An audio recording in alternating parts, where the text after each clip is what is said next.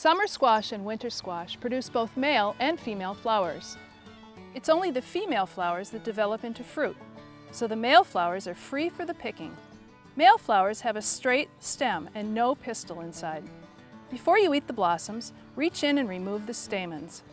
Squash blossoms are delicious raw in salads. They can also be lightly sauteed with peas or beans, stuffed with cheese, or battered and fried. I'm Kathy LaLiberte for HomeClick.com.